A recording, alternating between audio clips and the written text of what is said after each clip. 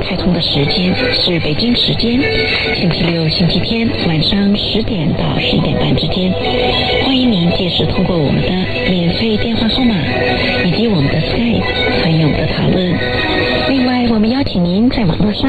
互动。民主沙龙周末热线的推特账号是汉语拼音全拼林岳阳，脸书账号是民主沙龙。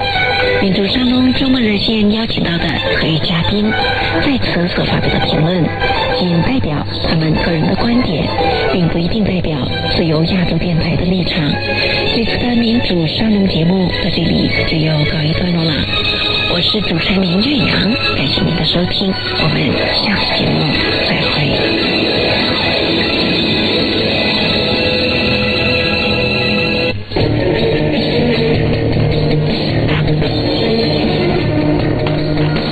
关注中共高层人事动向，搜查错综复杂派系分野，追踪权力斗争历史演进，把脉当下中国政治走向。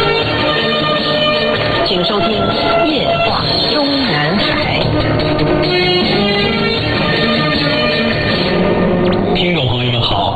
迎收听美国自由亚洲电台《夜话中南海》节目，我是节目的播讲人和撰稿人高鑫。我们今天所要播讲文章的题目是“比比习近平，面具温家宝的好”。我们上次节目播讲的文章，习近平染发染出了高者亦友。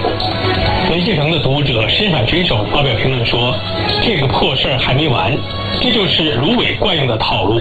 虽然芦苇进去了，但是习总有气魄，不因人被拒，所以化妆还按照既定的剧本走，如此而已。当年温影帝才出场的时候，头发不让染全了，鬓角一定要留白，大家难道都忘了？当时兰州还专门发了篇报道，说是温总理说了，全染黑了不真实。俺当时就纳闷，全黑了不真实，难道染一半就是真实？芦苇当年就是温总的化妆师，这么多年过去了，俺也早想明白了，人就是演嘛，何必较真儿呢？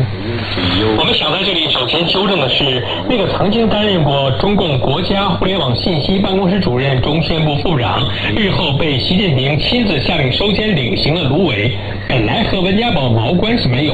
说他是温家宝的御用化妆师，完全是以讹传讹。曾经有海外媒体说，二零零四年五月升任新华社副社长之后，据称芦苇组织了一个专人团队，改变了以前对中共领导报道严肃矮版的做法，在报道中。